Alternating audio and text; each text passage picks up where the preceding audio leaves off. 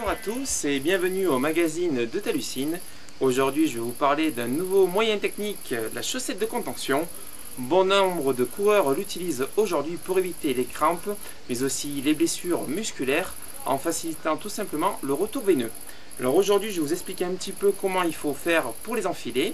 Alors vous allez voir c'est très simple, mais sachez qu'avant tout de les porter, L'idéal avant une course, c'est de pouvoir vous allonger. Donc si jamais vous partez le matin de bonne heure, ce que je vous conseille, c'est avant de vous lever et donc que le sang redescende dans les pieds, pensez d'abord dans un premier temps à mettre vos chaussettes donc avant de vous mettre debout.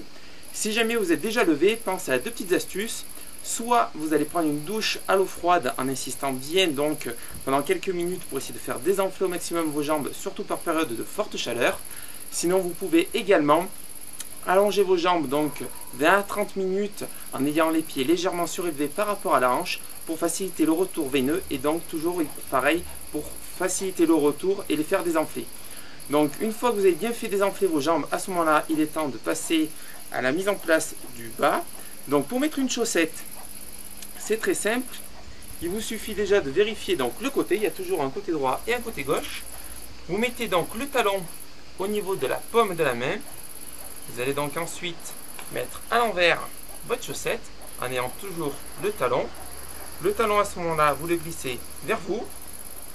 Ensuite, vous enfilez le pied jusqu'au talon comme ceci.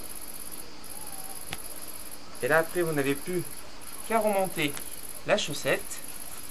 En faisant comme ceci, en le retournant à l'envers, ça va éviter de trop tirer sur la chaussette et de casser la contention. Donc si vous voulez, vous allez conserver l'élasticité beaucoup plus longtemps. Elles vont vieillir nettement mieux. En même temps, vous allez éviter de les effiler donc, et de les déchirer.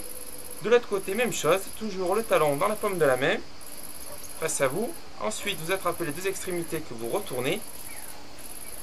On passe le pied jusqu'au talon. Ensuite, il n'y a plus qu'à remonter. Donc ça se fait très facilement. Il ne vous reste plus que désormais à aller courir. Lors d'un prochain épisode, je vous montrerai un petit peu comment on peut faire pour entretenir au mieux ces contentions pour éviter donc de casser l'élasticité et de les préserver.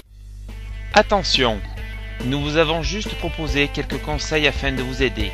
En aucun cas, ils ne peuvent remplacer un avis médical ou des soins exercés par un professionnel de santé. Pour plus d'infos, rendez-vous le premier samedi de juin à Tueil ou sur la Et surtout, n'oubliez pas que le sport, c'est toujours santé.